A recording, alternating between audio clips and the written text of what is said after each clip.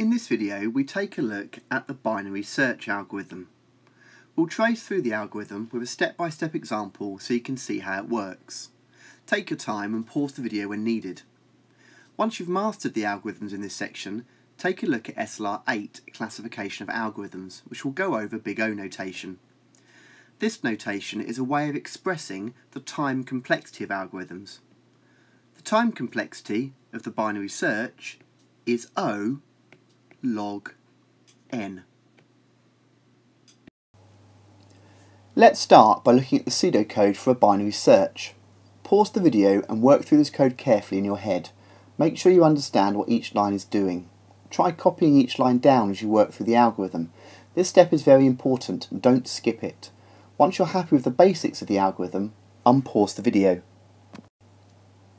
Let's work through the algorithm now using a simple set of data.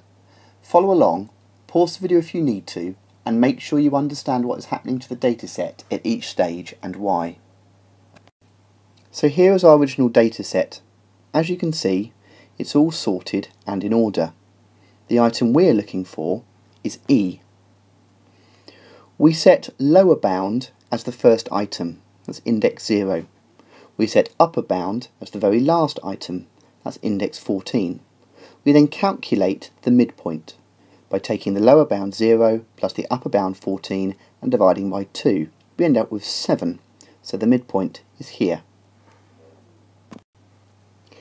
As the midpoint was h, and we know that h is greater than e, we now can infer that e must lie somewhere between the lower bound and the midpoint. The upper bound, therefore, now becomes the old midpoint which was position 7, minus 1, which is 6. We have to calculate a new midpoint.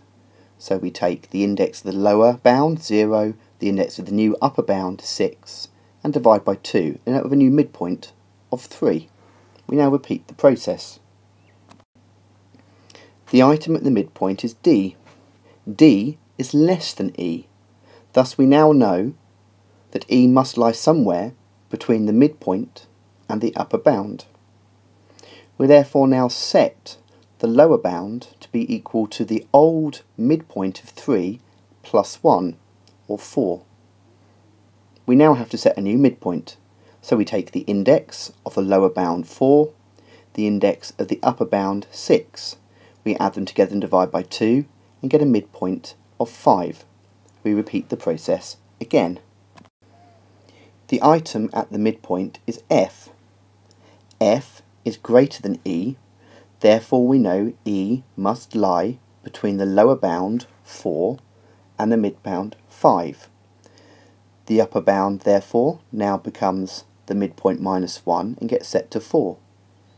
In this situation the lower bound and the upper bound are now fixed in the same position. We can now conclude we've found the item E after four searches. Remember, to really master this algorithm, you should try working through it again with a different set of data and also try coding it in a programming language of your choice. Once you've achieved this, you should be able to tackle all questions relating to this algorithm in the exam.